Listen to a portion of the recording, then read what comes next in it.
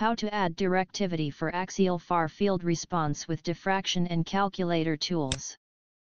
In the beginning we have just axial far field response but off-axis responses do not exist and cannot be measured. Start diffraction tool.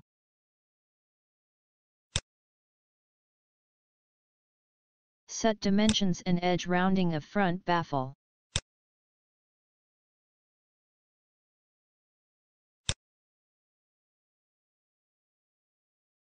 Set effective area or diameter of the driver. Create the baffle with a driver. Select the driver and adjust location.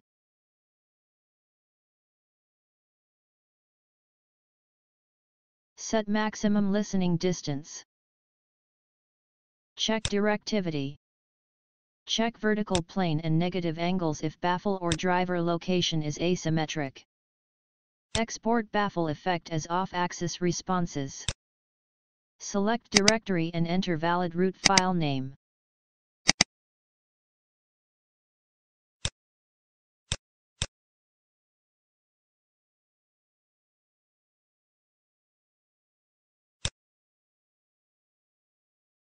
Close diffraction tool.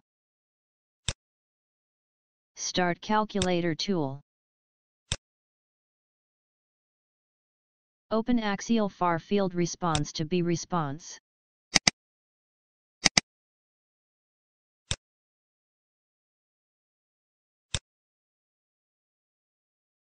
Open directivity responses created with diffraction tool to response list A.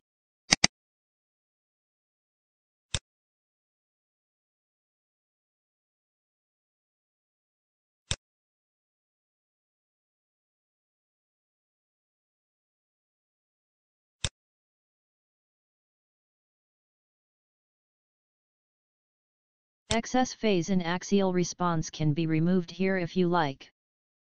Select function B multiplied by A divided by axial response. Uncheck linear input and linear result magnitude. Set amplitude scaling parameters to 0 and not inverted.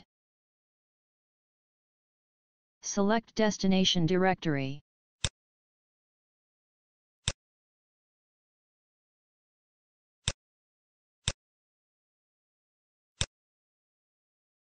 Press Calculate and Save button to create off-axis responses for axial far field response B.